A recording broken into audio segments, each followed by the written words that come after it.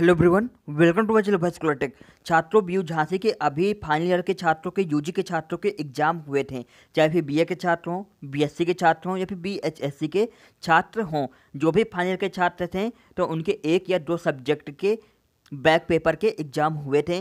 तो अभी तक कोई भी न्यूज़ नहीं आई है जिससे पता चल सके कि इन छात्रों का रिज़ल्ट कब तक आएगा। व्यू जहाँ से कि आप ऑफिशियल वेबसाइट पे जाएँगे तो वहाँ पर भी इसके रिगार्डिंग कोई भी सर्कुलर नहीं है। लेकिन हमने कैंपस में कुछ सूत्रों से बातचीत की है। तो हमें पता लगा है कि नवंबर के लास्ट वीक यानी कि नवंबर मंथ के लास्ट वीक में रिज़ल्ट आ सकता है, आने के 80 परसेंट चांसेज हैं।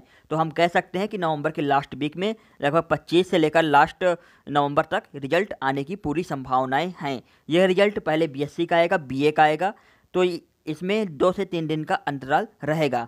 तो फ़िलहाल आज की वीडियो में बस इतना ही। Wish all the best keep watching and subscribe channel for more videos thank you